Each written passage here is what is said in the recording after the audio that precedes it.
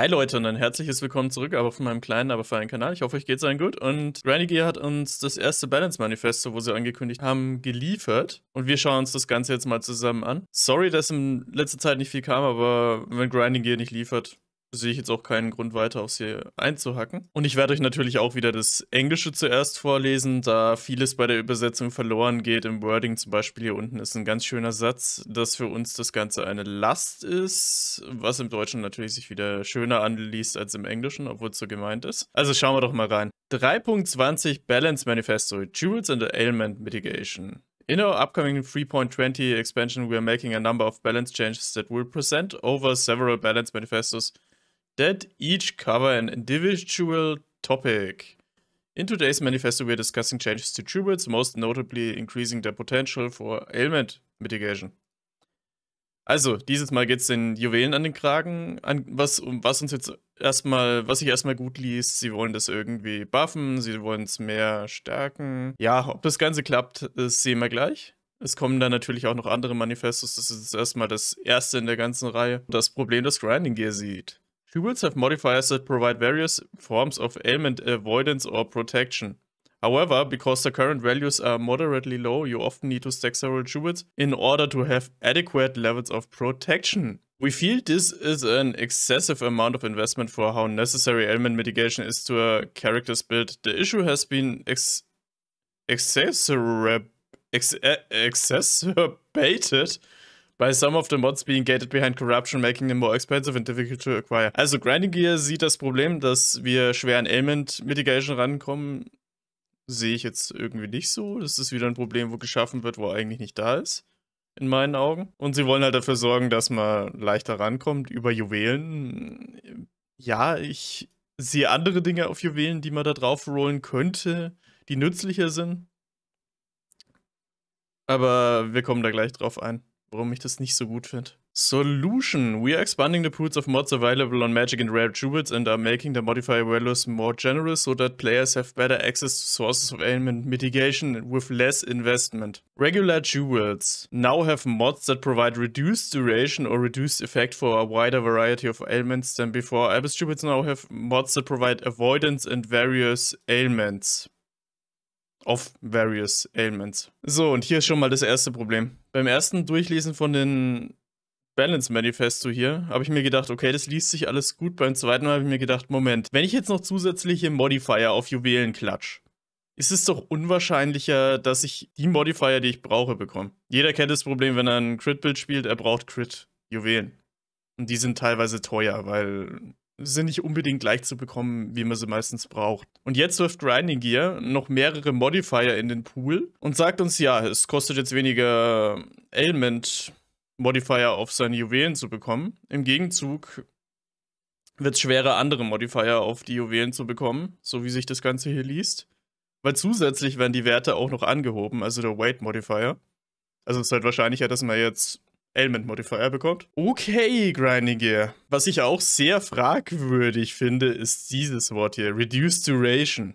Mhm. Reduced Duration.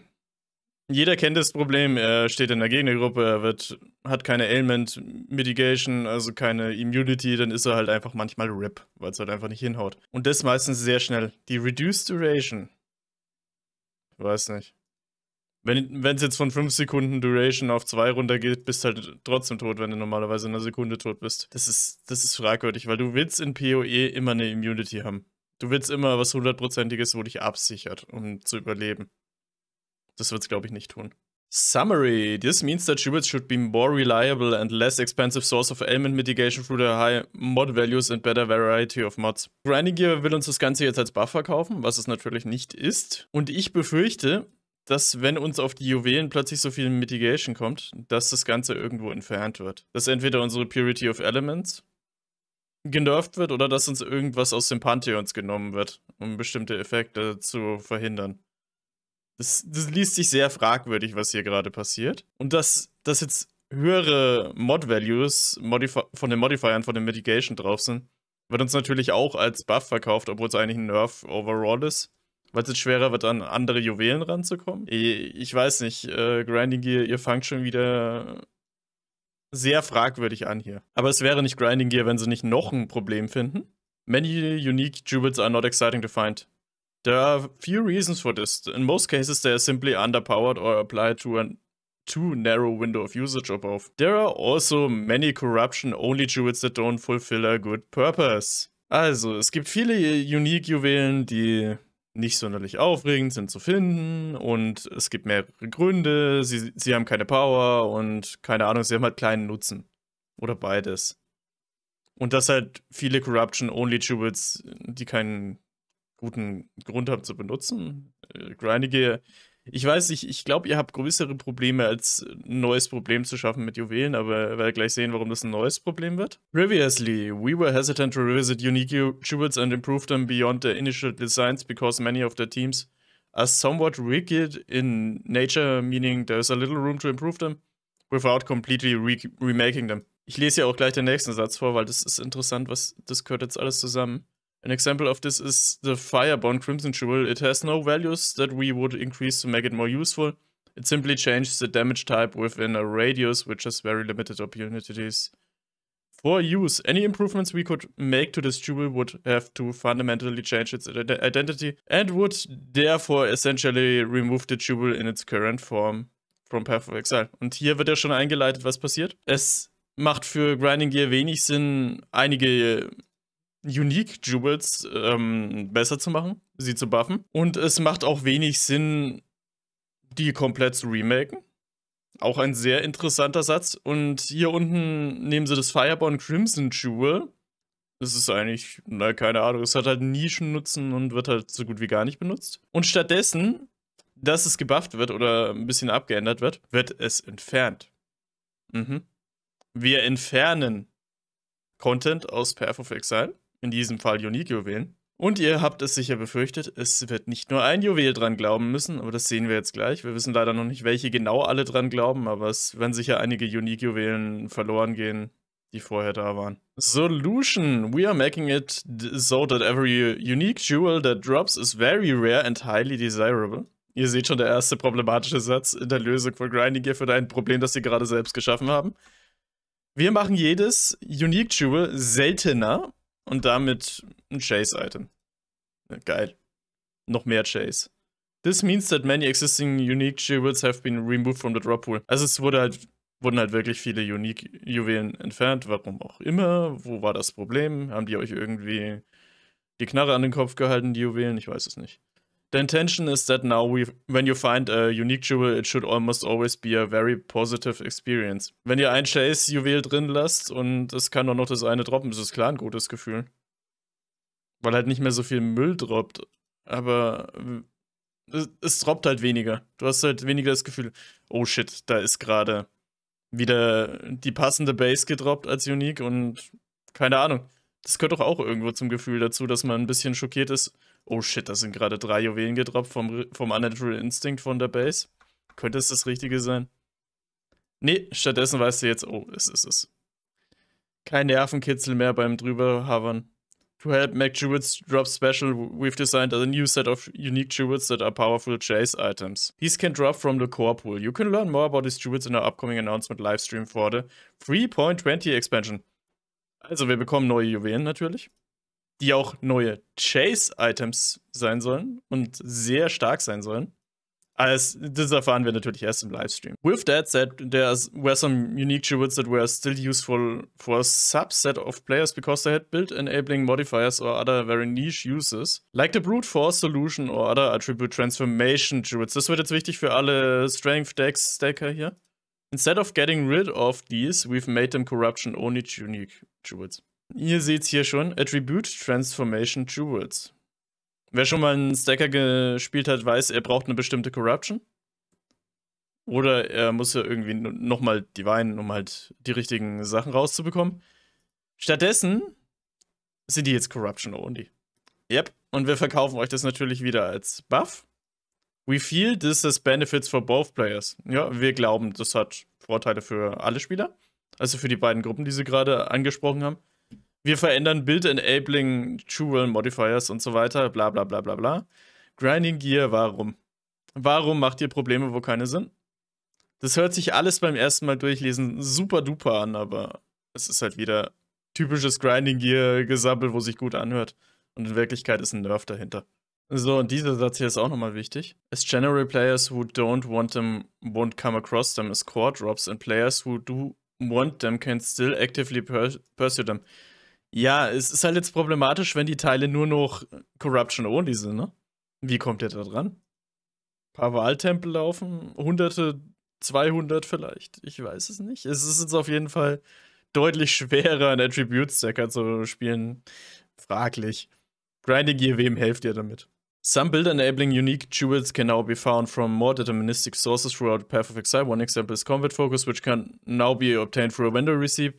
Ja, warum konnte man das nicht als Quest-Belohnung lassen? Also es gibt jetzt mehrere Juwelen, die über Vendor-Rezepte erhältlich sind. Combat Focus zum Beispiel.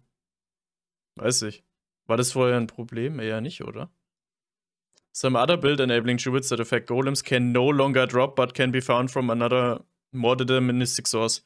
Why we want you to discover this new source on your own during gameplay, we will say for clarity that these jewels do not come from vendor receipts. Wie ihr hier seht, Golem-Builds werden jetzt natürlich schwerer zu spielen. Es ist halt die Frage, was sind das für Deterministic Sources? Ich gehe davon aus, es wird neue Divination Cards geben, die wahrscheinlich wieder extrem selten sind. Also jeder, der Golems spielt, Herzlichen Glückwunsch, ihr spielt jetzt ein Bild, der deutlich schwerer wird am Anfang. Weil er halt einfach nicht available ist zum League Start. Zusammenfassung. Our goal is that finding a unique jewel is an exciting experience. The unique jewels that drop naturally should be those that are very valuable with broad appeal to the average player, either to use in your own build or trade to someone else. We've worked towards this goal by removing uninteresting unique jewels, adding more chase unique jewels, and moving jewels that do appeal to a smaller subset of players to other places so that they can be pursued by choice. Also, sie wollen, dass Unique Jewels zu finden ein, eine aufregende Erfahrung wird. Ich weiß nicht, wo das so aufregend ist. Also, sie wollen damit den durchschnittlichen Spieler ansprechen. Der durchschnittliche Spieler kommt nicht über Akt 1 hinaus, wenn man eure Statistiken anschaut. Ähm, wie wollt ihr dem damit appealen? Als mal genug Spaß mit Statistiken, die meisten kommen nicht über den Strand hinaus. Und das Fragwürdige ist halt, anstatt dass sie hier irgendwie was überarbeiten, buffen oder verändern, stattdessen wird es entfernt. Weiß ich, haltet ihr das für eine gute Änderung? Könnt ihr mir gerne mal reinschreiben, ob das eine gute Idee ist. Ich hätte es irgendwie interessanter gefunden, wenn man die alten Juwelen irgendwie abändert. Ist ja nur so eine Idee, Grinding Gear, anstatt alles zu entfernen, damit der Lootpool kleiner wird. Und das halt jetzt zusätzliche Chase-Items einbauen, die wieder sehr, sehr selten sein werden. Und das halt jetzt die ähm, Juwelen, die für bestimmte Builds gebraucht werden, sagen wir jetzt mal, das sind die Golem-Teile, musst du halt jetzt über einen anderen Weg fahren. Was das für ein Weg ist, höchstwahrscheinlich Divination Cards. Oder es gibt was Neues in den Mechaniken nächsten League. Wer weiß. Ich bin hier ein bisschen zwiegespalten, ich finde es gar nicht gut. Und jetzt kommen wir zum nächsten Problem, das Grinding sieht, wo nicht vorhanden ist. Many of the unique jewels that are currently granted through quest rewards are not very desirable. Wer hätte gedacht? Quest-Belohnungen sind nicht desirable. Also das, was wir über Quest bekommen, ist nicht so geil. Ja, das ist schon immer so gewesen. Additionally, because they are offered to all players who make their way through the campaign. They are extremely common, which inhibits them from having value or being meaningful items to find.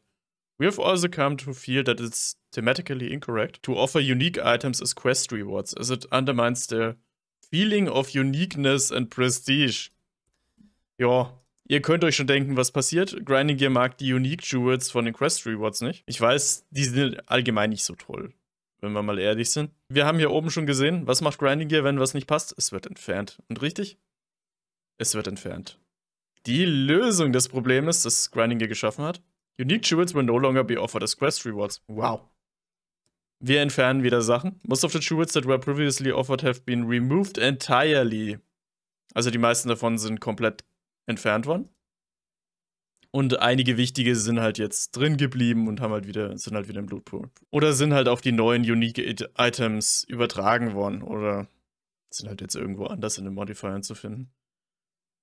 Was ich sehr interessant finde, diesen letzten Satz hier by being added to the pool of rollable Jewel Modifiers. Werden hier noch mehr Modifier in den Jewel Pool geworfen, damit es noch schwieriger wird, bestimmte Juwelen zu craften oder zu bekommen, die man für sein Bild braucht? Vielleicht. Ich kann mich täuschen, ich glaube es aber nicht. These quest rewards now offer a random rare jewel. Respect Grinding Gear. Ähm, quest Rewards fühlen sich kacke an, nach euren Worten. Und jetzt gebt ihr uns noch mehr Müll. Habt ihr schon mal von den Rare Jewels, die ihr beim Questen bekommen habt, irgendwas Gutes bekommen? Ich kann mich irgendwie nicht dran erinnern, das war bis jetzt immer irgendein Mist. Was ja komplett random ist. Because the rewards are not static like the unique jewels were, they may have a better chance of being useful to the receiver or something that may be valuable to trade to others. At the very least, they should be less predictable. Ich habe noch nie beim Questen ein Juwel bekommen, das ich handeln konnte, verkaufen konnte oder sonst was. Es ist sehr unwahrscheinlich, dass man beim Questen direkt ein gutes Rare-Jewel bekommt. Das ist halt einfach Bullshit-Grinding hier. Und sehr unwahrscheinlich. Es kann natürlich passieren. Zusammenfassung. Players should no longer be burdened burdened with predictable unique jewels, quest rewards, but will not entirely miss out on some of the valuable aspects they did have. Grinding Gear, was ist das für ein Wording hier? Und das ist der Grund, warum ich immer die englische Version vorlese. Weil solche Wörter entgehen dir im Deutschen, weil, sie, weil die Sätze anderes geschrieben sind. Weil man sich direkt denkt, ich kann hier kein Burden oder Last reinschreiben. Das ist doch keine Last für den Spieler. Uns wird hier also gesagt, es ist eine Last für uns, wenn wir vorgegebene Quest Rewards haben. Deswegen nehmen wir sie raus damit wir die Last nicht mehr haben. Fragwürdiges Wording in meinen Augen. Grindigear, warum sieht ihr uns als ähm, Konsument als Feind? Ich bin mir hier gerade nicht so sicher. Das ist schon interessant, dieses Wording. Das findet man irgendwie in jedem Community-Post von Grinding Irgendwie so einen Satz mit, oh, das ist eine Last für den Spieler. Ihr solltet vielleicht mal intern ein bisschen reden, wer diese, diese Manifestos hier schreibt. Ähm, das lässt sehr viel Spielraum offen von eurer Ansicht des Games, dass es eine Last ist. oh Mann. So, jetzt das Endwort. Jewels should be more exciting than before and provide a better source of ailment mitigation than they were in 3.19. Jewels with effects that are useful only to a subset of players should still be attainable while moving them out of the way of players who aren't interested in them. You can find out more information and bla bla bla. Ja, Announcement, Livestream vom Announcement, bla bla bla. Bleibt mir fern mit eurem Livestream. As we mentioned, we have several other balance manifestos coming out. These will cover topics such as curses, Arc Nemesis and Eldritch Altars, among other things. Sehr, sehr fragwürdig, Grinding Gear, dass ihr schon hier mit anfangt, Nerfs reinzudrücken und Probleme zu schaffen, wo keine Probleme waren, weil ich kann mir nicht vorstellen, dass Juwelen für irgendjemanden ein Riesenproblem waren. Es war halt einfach eine Mechanik, die man mitgenommen hat. Oder die man braucht für seine Builds. Ich habe mir ernsthaft beim ersten Mal durchlesen gedacht, das hört sich alles ganz gut an. Aber es wäre nicht grindiger, wenn sie nicht wieder hinter den Zeilen was versteckt hätten. Ich bin mir ziemlich sicher, dass hier ist der Anfang von vielen weiteren Nerfs. Ich gehe davon aus, dass hier so viel Gewicht auf die Ailment Mitigation gesetzt wird, dass das Ganze irgendwo runtergenommen wird. Sagen wir, eine bestimmte Aura, die Immunity gibt, wird entfernt oder angepasst, dass es halt nicht mehr 100% gibt. Dass wir über Juwelen die restlichen Prozent reinholen müssen. Oder dass halt bestimmte Modifier von Items runtergehauen werden. Kann auch alles ganz gut sein. Kann ich mir alles sehr gut vorstellen bei Grinding Gear. Oder es wird halt komplett entfernt. Den Ansatz sehen wir hier schon bei den Unique Jewels. Bin ein bisschen skeptisch mit dem Ganzen. Das ist in meinen Augen der falsche Weg, Grinding Gear. Warum schafft ihr mehr Probleme, wo keine waren? Ihr hättet doch die Unique Jewels einfach anpassen können. Was ich mich auch frage, es wurden uns ja Unique Items angekündigt, die geändert werden. Werden wir von denen was sehen oder werden wir von denen nicht sehen? Ich bin mir nicht so sicher. Es ist wie mit, wir werden alle Akte reworken und hören dann nach Akt 1 auf, weil, nö, bindet zu viel Zeit. Aber schreibt mir gerne mal unten in die Kommentare rein, was ihr von dem Ganzen hier haltet. Ich sehe das eher als Nerf an als als Buff. Und es wird jetzt deutlich schwerer, zum Beispiel eine Corrupted Blood Immunity zu bekommen, gehe ich davon aus. Es wird deutlich schwerer als Dex, Strength, Stacker oder was auch immer zu überleben. Sehr, sehr fragwürdig, was Grinding hier macht. Aber wir werden natürlich jetzt auf dem Laufenden bleiben, was mit den nächsten Manifestos passiert. Und sobald Grinding jetzt wieder liefert, werde ich auch liefern. Weil dann würde ich sagen, bis zum nächsten Mal. Macht's gut. Habt noch einen schönen Tag. Und wir sehen uns im nächsten Manifesto von Grinding Gear, das wahrscheinlich als Buff verkauft wird und stattdessen in Wirklichkeit wieder ein Nerf ist. Ihr wisst, Macht's gut. Ciao.